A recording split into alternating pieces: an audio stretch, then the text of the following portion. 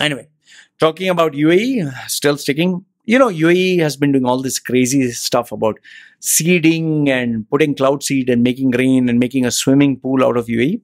Well, UAE has been having wonderful weather lately. On October 31st, you had a storm whereby a Fujairah hotel closed down. Then uh, you had same same day report. You had an earthquake that was felt in UAE, and you also had a cyclone that hit UAE. So you have cyclone, you have a storm, you have earthquake, and then you have rain. I'm beginning to wonder are the gods unhappy with UAE that they are putting cyclone and uh, earthquake and all that? Just imagine if something like this happens during Expo 2020, what the fuck is going to happen? Okay. Like I say, don't play with nature. When you play with nature and you try to fake things, it's going to backfire.